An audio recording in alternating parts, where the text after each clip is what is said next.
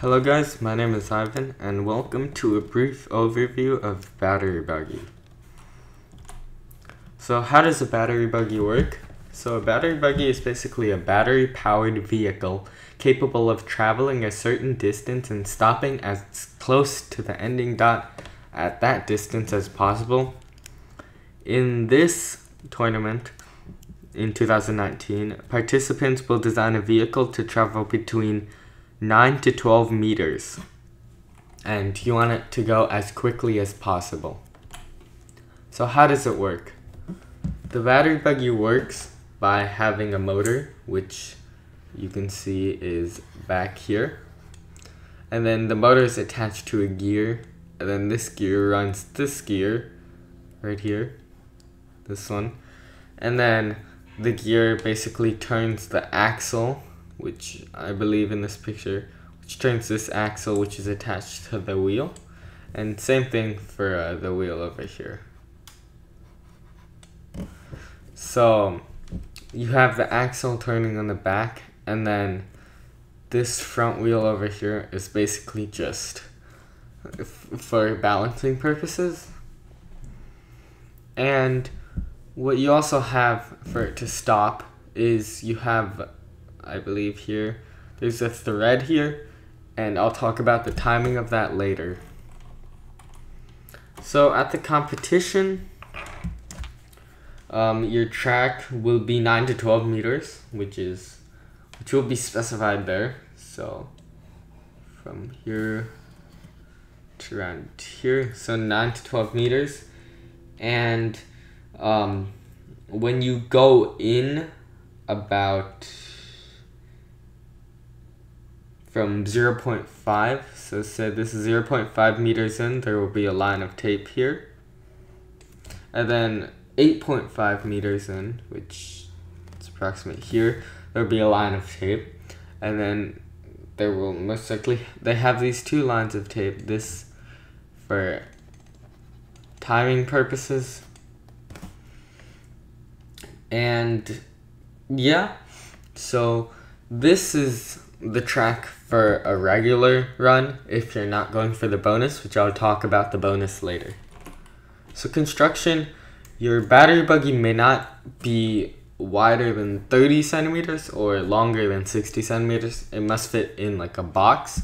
That will be that dimensions. However, axles and other parts may extend beyond, but the wheels must stay inside the 30, 60 centimeter box.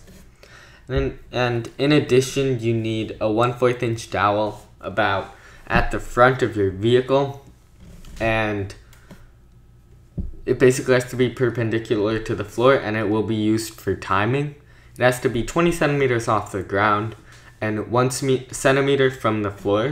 So what I'm gonna assume is if you have like a thing here and you have your dowel, it has to extend 20 centimeters off the floor and say this is the floor, this has to be less than one centimeter for measuring purposes. And in addition to that, um, your dowel holding device, which I drew, which is basically that thing, um, it may not be more than five centimeter my bad, five millimeters off here. So this distance right here, which let me just redraw it. That was a relatively bad picture. So this distance must be less than 0 0.5 centimeters or 5 millimeters. So the materials you can use for the body, you can use wood, metal, styrofoam, whatever works, whatever you have available but probably the best would like be like wood or metal. And axles, you can use dowels, except that'll make a lot of friction. So you probably want to use metal rods that you can probably buy at any store. Wheels, you can use CDs, plastic wheels, and so what you would do normally, I see most people do, is they put rubber bands around their wheels, or you can 3D print your own wheels. Motors, you can use toy truck motors, fan motors, quad motors. Most people just use one motor and then use a gear, gear it up to turn the axle. So you're only turning the wheels on the back and the front wheels are just rolling. And batteries, you can't use lead or lithium. And I'm not sure if you can use an NiMH or not. So if you want to be safe, just don't use that. And you probably want to use AA batteries. And the rules say here around, you can have at a max of 8, 1.2 to 1.5 volt AA batteries. And you can get a holder, like 4 or 8 or 2 battery holders. And except you just have to have the labels visible to the supervisor and you can take the batteries out. You want the dowel for timing and gears for motor. Scoring, what they will do, it's your run time plus two times your distance time plus the bonus plus penalties. And you want to get the lowest score possible. So let's say you had a run time of uh, five seconds and your distance was five centimeters. I'm just using whole numbers because it's easier. And your bonus, you got negative 20. I will explain the bonus scoring later. And penalties, so you got none. So you would just do 5 plus 2 times 5 uh, plus negative 20 uh, plus 0. So that would give you um, a total score of negative 5. So bonus run, what they will let you do is say you have the track. This is the center. They will have an imaginary line here. And then they'll place a, a can, which its specifications, if you let me see, diameters of 7 to 8 centimeters and a height greater than 10.5 centimeters. Standing upright, of course, which is that. Standing upright, it will be exactly 1 meter. So this is 1 meter away from the center. and they will have another can. They will have another can where you can uh, put it anywhere between here to here or to one meter this way. And then what you would do is you try and have your buggy go like curve around this and go there. So the scoring will be um, negative 0.5 multiplied by 110 minus the distance between these cans. So say you put your cans like that and it was 40 centimeters and your buggy successfully went in between them. So it'd be 110 minus 40, which is 70. 70 times negative 0.5 would be negative 35. So your bonus score would be negative 35. That's how it works. I hope that was clear.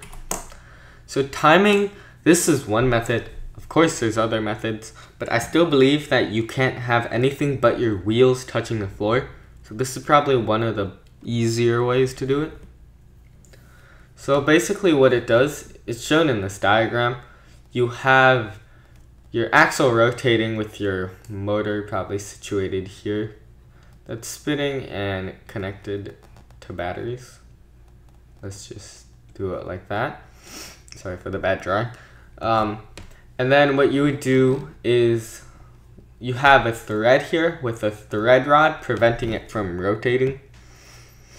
And then, so basically once the thread hits the end here, the wheels stop and basically your car stops. However, this year what you want to do is you probably want to put a momentary switch at the end, right where the circle is, like right there. So when this rod hits the switch, it shuts off this power supply. Of course, this isn't drawn in a circuit diagram, but you would put there and then you would wire the switch in between one of the wires. And so that's basically what would make it stop. Since in the rules this year you have to make the motor stop when it comes to a complete stop or else it's a violation. And in addition, you have to use a switch. So you have to have a switch. Probably this would not work. Most likely want a button switch to use a pencil to press this and then to start your buggy. So you would have to have two switches in your circuit. And I'm not going to draw the circuit diagram here. So since you have to move your pencil in a perpendicular motion to the floor, so most ideal would be using a button switch. I don't know how you would move it perpendicular using a flip switch. So here's one thing that I've noticed throughout doing tech events. You have to test, test, and test. Now this is my first year doing buggy, but I've done other tech events and like you just have to test, test, and calibrate and calibrate. One thing I've noticed, your first design might not work. Your second design may also not work. Your third design might come close. You might have to build a fourth, fifth, sixth, and so on to perfect your ideas. And in addition, you need a practice log, which will be specified more in the rules if you read the rules except I can explain it here for you guys. What you have to do is you have to record at least 10 practice runs. So you want 10 practice runs with one varying factor. So let's say it's when you have your rod, it's where you put your thread. Like maybe you put it here or you put it here or here or here or there that may be a varying factor and then you see the distance the change in distance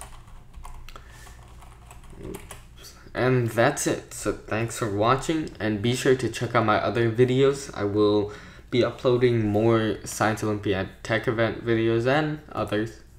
So thank you